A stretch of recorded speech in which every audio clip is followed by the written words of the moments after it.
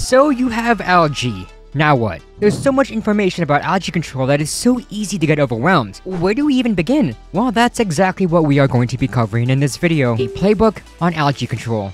Identifying the exact type of algae in your aquarium is crucial. Each type has its unique characteristics and requires specific strategies for control. We'll dive into the common types you might encounter and focus on how to accurately identify them. Correct identification is the first step to effective control. Thread slash string algae. There are two main types of thread algae, green fuzz algae and green beard algae. Fuzz algae mainly grows on plant leaves, especially on old, damaged, and rotted leaves, and appears short with just a couple of centimeters in length. Beard algae is slimy and can grow up to a few centimeters. It also has a tendency to attach to plants as well as hardscape. Both of these will anchor very strongly to a surface, making it hard to physically remove. However, the threads of beard algae are quite weak diatoms, also known as brown algae and comes in two shades. One creates a slimy brown surface, while the other comes in thin brown threads, although diatoms can actually be green. What? This is why some people mistake diatoms for thread algae. Unlike firmly anchored thread algae, diatoms are relatively easy to dislodge, making physical removal a viable option. Blackbrush algae, also known as blackbeard algae. It appears black with a reddish or a blue tint and grows in small hairball clumps. It prefers places with a strong flow and can grow virtually anywhere, including equipment.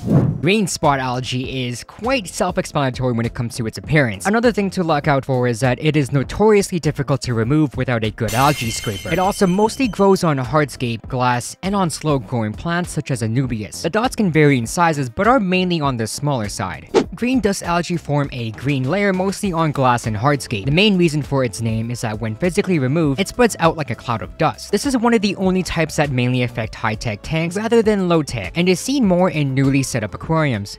Staghorn algae is sometimes mistaken for blackbeard algae. The main difference is that when observed more closely, it may appear more gray or blue, but with a branch-like shape. Staghorn tends to appear more on the edges of leaves and near the surface. It can also anchor down on a surface and be more slippery, thus making it difficult to remove. Green water is well, green water. However, a lot of times people may mistake a bacterial bloom as a green water infestation, although having a greenish light may be the culprit in this misconception. Blue-green algae, also known as cyanobacteria, is a fast-spreading algae that mainly has a bluish tint. It can form a blanket or a spiderweb-like appearance over hardscape, substrate, and plants. One of the main identifications is the smell of a musty or swampy biome.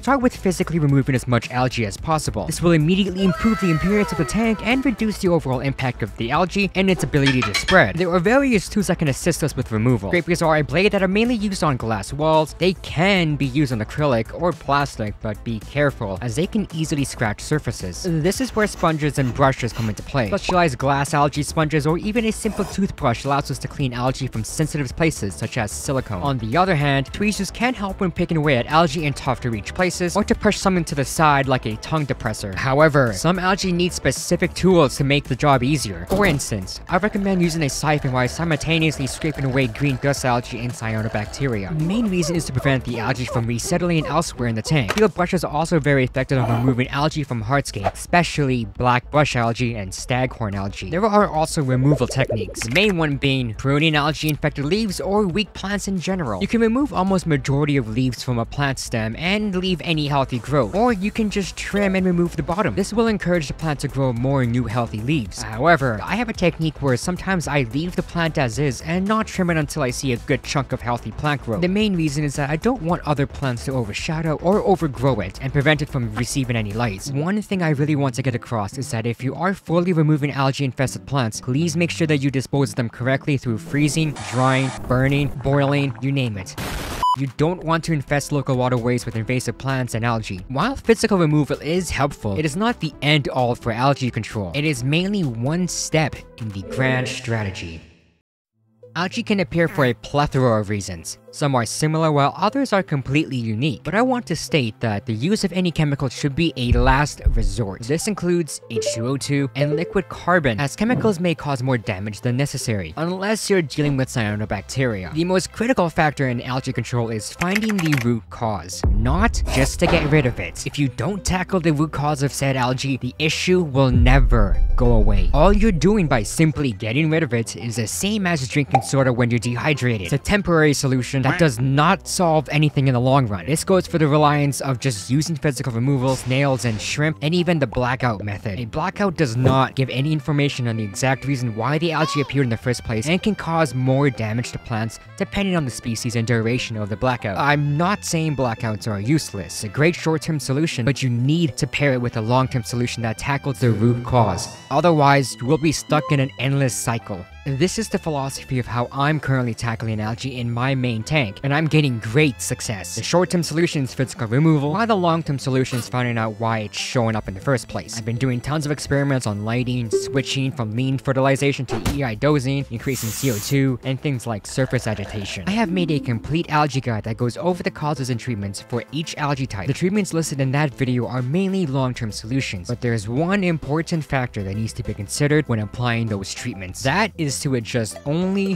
one variable at a time. Doing so gives us the understanding of the exact cause of the algae type. Furthermore, you will not be stressing out any livestock and plants while you're only changing one aspect at a time. To go even deeper, we need to make these adjustments in a controlled manner. For instance, when adjusting lighting, change either the intensity or the duration, but not both at the same time. It's virtually impossible to figure out if the light intensity or the duration was the solution. Given how this is a long-term solution, it's best to keep track of any observations over a timeline. I personally use a two-week test timeline for a single variable and jot down any changes. Once we figure out a variable or multiple of them that make a positive impact, we can use these results for future referencing if or when the issue appears again. This obviously takes patience and time, which can be challenging when dealing with unappealing algae. However, I can assure you that the long-term benefits of this approach includes a healthier, more balanced aquarium, and the achievement and dopamine release of the victory and the knowledge gained from battle. This knowledge is not just solving a problem today, it's about preventing it tomorrow, which brings us to the next topic,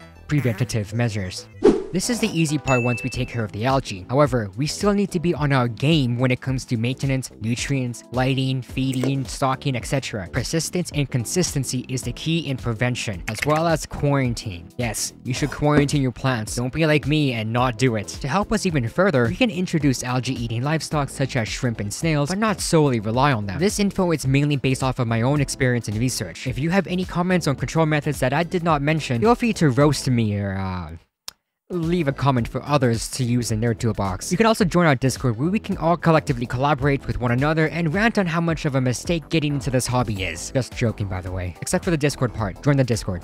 Should I restart my tank? This is a question that ponders everyone who feels defeated when battling algae. It feels like an unwinnable uphill battle that leads to nowhere. Even I have asked this question myself before, and the answer to that question is, it depends. There are pros and cons to it. Restarting a tank will take effort and maybe even additional cash that you might not have. Furthermore, you'll have to go through the nitrogen cycle again. The algae will not also magically disappear once you restart. Any spores on the plants, substrate, equipment, and hardscape may be enough to bring the algae right back again if you don't don't take proper care of it. However, that isn't always the case.